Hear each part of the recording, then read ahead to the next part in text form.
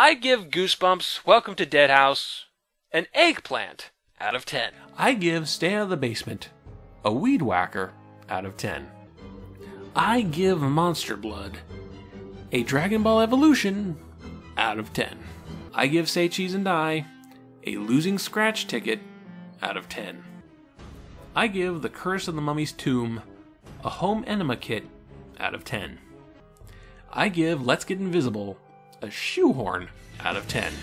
I give Night of the Living Dummy an R.L. Stine joke book out of 10.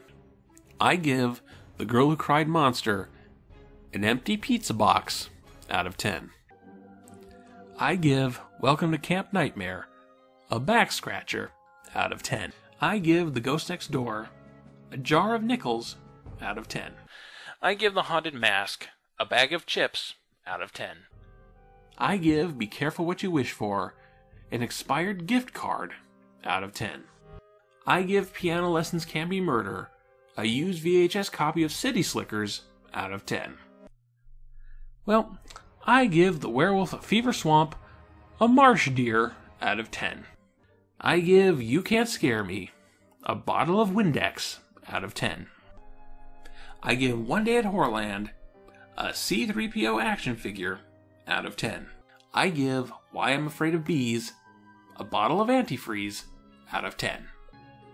I give Monster Blood 2 a used Taco Bell wrapper out of 10.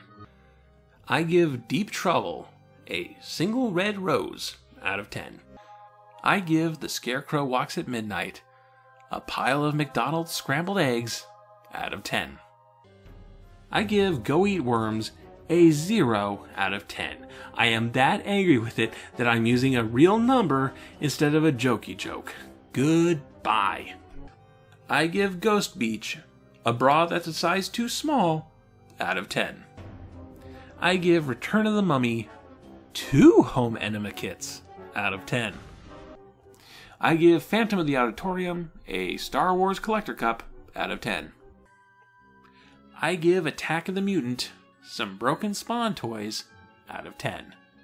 I give My Hairiest Adventure a shrug out of 10. I give A Night in Terror Tower a Skillshare sponsorship out of 10. I give The Cuckoo Clock of Doom half a lemon out of 10. I give Monster Blood 3 a poo emoji out of 10.